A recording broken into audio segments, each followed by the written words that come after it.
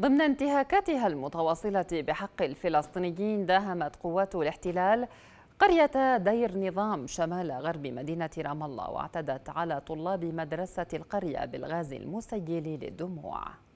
شمال غرب مدينة رام الله المحتلة تقع قرية دير نظام والتي تعاني من حصار وإغلاق لمدخليها منذ التاسع عشر من الشهر الحالي.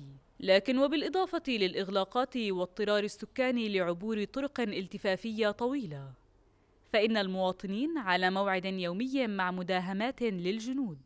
كان آخرها اقتحام الاحتلال لمدرسة القرية صباح اليوم. الاعتداءات والانتهاكات كثيرة آه، تبدأ باستشهاد حيث استشهد ثلاثة من طلاب المدرسة آه، واعتقل العديد العديد من الطلاب. فالمدرسة هي تقريبا المتضرر الرئيسي في هذه الاعتداءات. ثم البلد يعني يوميا يكون هنالك اقتحامات بالإضافة إلى أنه مداخل القرية كلها مغلقة ما عدا مدخل واحد وعليه حاجز عسكري إسرائيلي. لم يكتف الجنود بترهيب الطلبة الذين كانوا داخل غرفهم الصفية. بل أطلقوا وابلا من الغاز المسيل للدموع صوبهم ما أدى لإصابة العشرات بالاختناق. بعد ذلك غادر الجنود القرية وكأن شيئا لم يكن. اليوم كنا في الحصص وكان يوم طبيعي ف فبلش صوت طخ وصوت طخ نار يعني. فصار المدير جاب كم واحد من التوجيه صار يخلوا فينا. في الصفوف. ففي الصفوف كان فيش إشي يعني إسعافات أولية. فاضطر إنه فاضطر إنه خلينا نطلع من المدرسة. وصار كركبة في الهون.